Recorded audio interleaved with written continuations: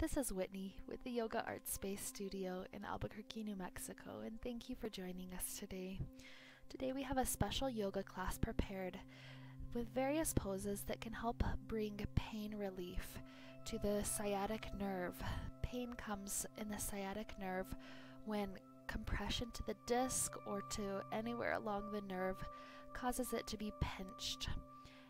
The sciatic nerve is the longest nerve in the body, connecting all the way from the brain down to, the bottoms of the feet.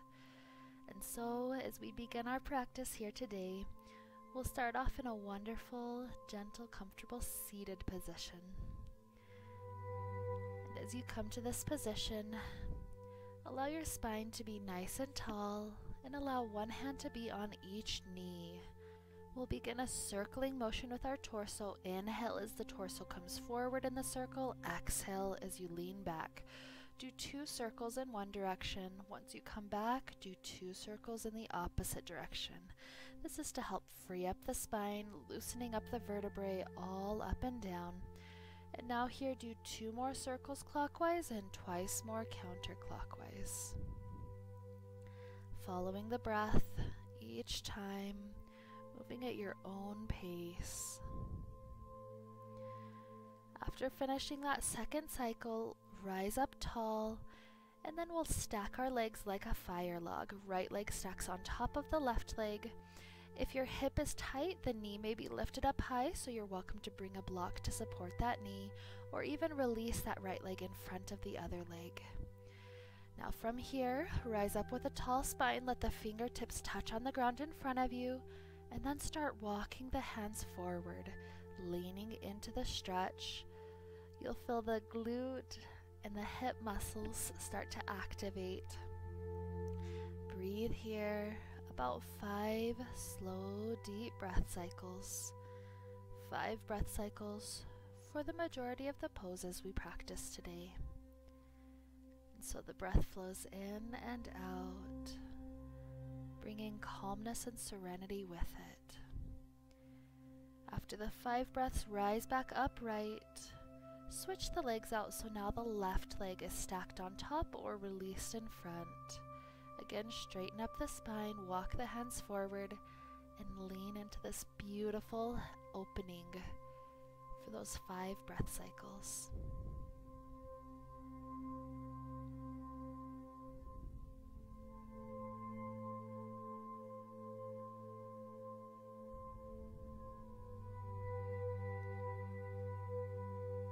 Those cycles finish up, walk the hands back inward, rising tall, and then bring the legs in so that you can come up and over easily onto your hands and knees.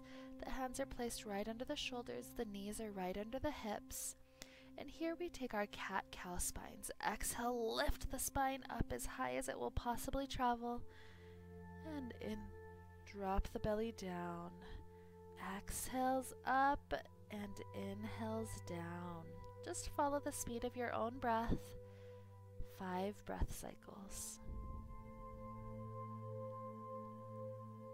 Try to really reach the extreme depths in both of these directions, the farthest distance the spine can travel upward and downward. And in this way, we loosen up the spine and we free up the nerves.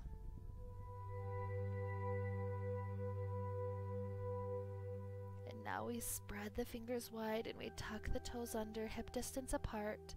Start to straighten the legs up to the sky. Downward facing dog. Bend one knee at a time, loosening up the legs, loosening up the low back, the vertebrae. And then from here, we lift the right heel straight up to the sky behind you.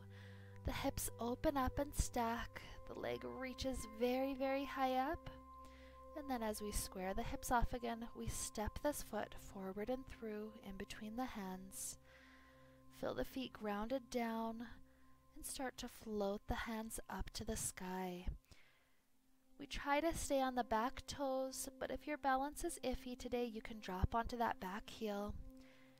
And here we breathe those five deep breath cycles the more we can sink the hips low, the deeper that stretch will be throughout the hip area. Exhale, bring the hands back down to either side of this foot, stepping the foot back. And then we free up the back leg, that left leg reaching up for the sky, hip stacking, square off the hips, swing that foot forward and through, landing it in between the hands.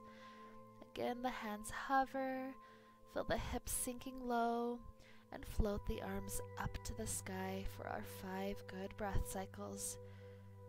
Pay extra attention to that back leg, trying to straighten it out as much as possible. The straighter you can get, the deeper that depth in the stretch becomes. Exhale, the hands come down to either side, and we step this foot back for a few more breaths in the downward facing dog through the center. Feel the hips rising, the legs loosening up little by little, and the shoulders stacking.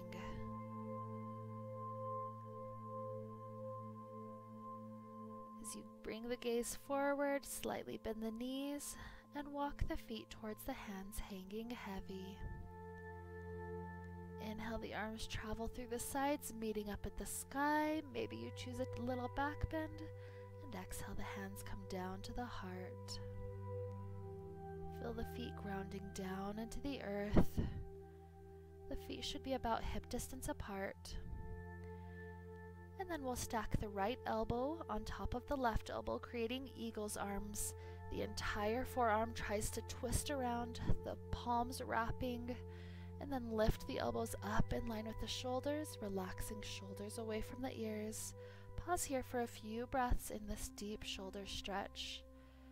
Before we begin to bend the knees, sinking the hips back as if we're sitting onto a chair. Feel the strength of the legs holding us upright. and then shifting the weight into, into the right leg that becomes the standing leg. The left knee frees up so that it can twist around, creating a full eagle's pose. Pause here for five sturdy, strong breaths.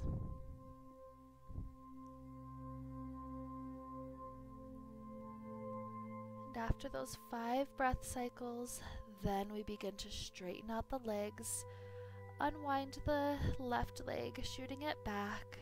Unwind the arms, and very slowly the right hand will reach down for the ground, rising the back leg up behind you, the hips stack, the shoulders continue to open, and both arms will stack one on top of the other, half moon pose.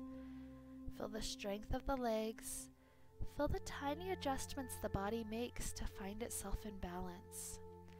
After that fifth breath cycle, bend the front leg, gently land the back leg, right away coming into warrior two, and then the front elbow comes down, or the front fingertips reach down for the ground, extended side angle pose. The top arm reaches in the forward direction, stretching through the side ribs, and then the side ribs continue to rotate up to the sky, heart twisting up Good. rise up through the center, and then cartwheel the hands down to either side of the front foot, stepping back for our downward facing dog. Holding here for our five good breath cycles. Remember the bones and the skeleton are supporting you, not the muscles. The muscles are simply receiving that stretch. Gazing forward, step, walk, or jump to the front of the mat and then reach the hands up through either side, hands meeting together at the heart after the exhale. We prepare for the second side. The feet are hip distance apart. This time, left elbow stacks on top of the right elbow, creating eagle's arms. Feel the shoulders stretch for a good breath in and out here. And then we prepare for the the fierce pose, sitting back as if we're in a chair. Remember to slightly tuck the tailbone under, protecting the low back. Knees are stacked over the ankles. Shift the weight over to the left leg. That's the standing leg. And then the right leg wraps all the way around. Maybe even the toes can wrap around the calf. Hold for five breaths in this eagle posture.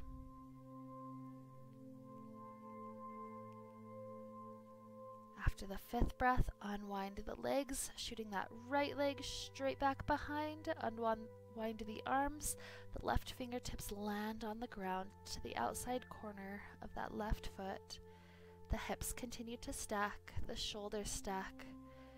Finding lift here, lifting the back leg up to at least a 90 degree angle if possible. After that fifth breath cycle, bend the standing leg. Gently land the right foot behind you, resuming our warrior two position. And then the front elbow goes down onto the thigh, or the front fingertips reach down for the ground. Either version of our extended side angle, feeling the heart opening up and simply accommodating this pose for our current level of flexibility. Once again, when we finish our five breath cycles, we rise up through that strong warrior two, cartwheel the hands down to either side of the front foot, step both legs back behind you, and then we prepare here for our dolphin pose. Drop down onto both elbows, and then lift up, straightening the hips up to the sky as if we're coming into a down dog just with the elbows dropped. Walk the feet in as high as your flexibility will allow. Staying here for three to four breaths, maybe those five breath cycles before dropping down. And afterward, we take a cobra pose. The hands plant under the shoulders and we press up into the back bend. Remember not to allow any low back pain. And of course, after our cobra pose, we come into a child pose to decompress the spine after that deep back bend. Releasing the head down to the ground, releasing the hips.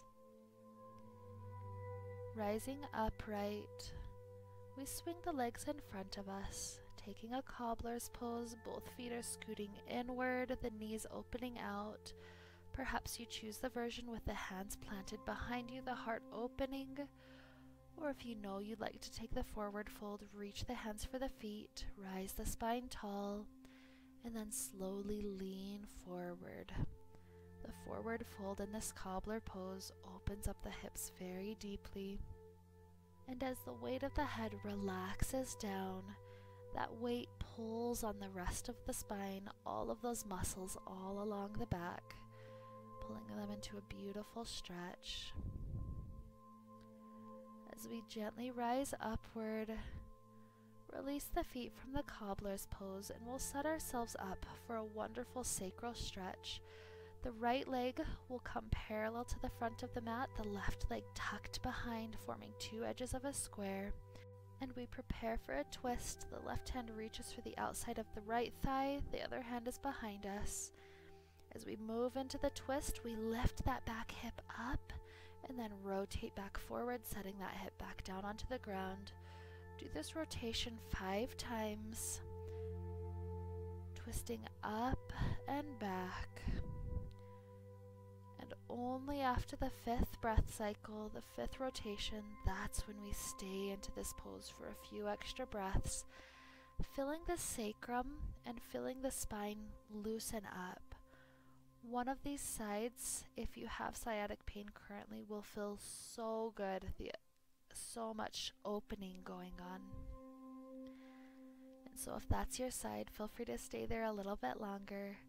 When you're ready for the second side, we switch the legs out, left in front, right tucked behind.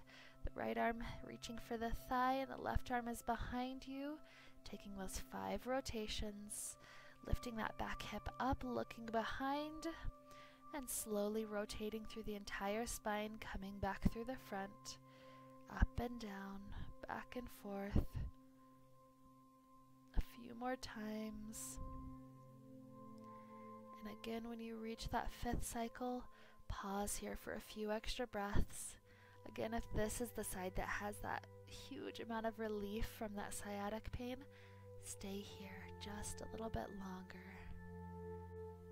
The reason this stretch feels so good, this twisting, is because it loosens up the sacrum. So now with the sacrum loosened up, we want to make sure to reset it back into a wonderful centered spot. And so bring both legs in front of you, hug your torso tightly against the thighs, and then begin walking the heels forward only to the point where you do not release the hug. Relax the head forward. Perhaps you'll be higher up with the knees, perhaps almost flat down to the ground. Just hug and feel the stretch all the way along the low back.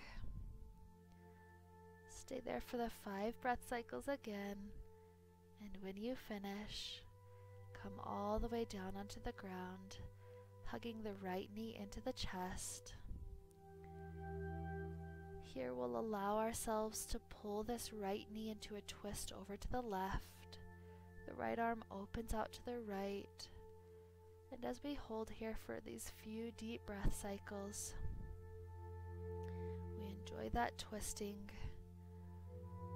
When you're ready to release, hug the right knee in one more time and then switch the legs, allowing the left knee to come in and it twists over to the right.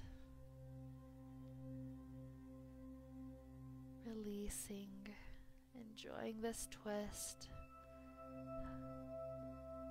Bring the hips back down, hug this left knee in, and here we release all the way down to the ground for our comfortable Shavasana pose. Feel the back long, feel the body resting. Stay here for as long as you have time today. Just breathing. How much can you allow your body to release? And how much can you envision light healing your sciatic pain, healing the low back? Thank you so much for joining me today. May we be filled with light and happiness and peace. Namaste.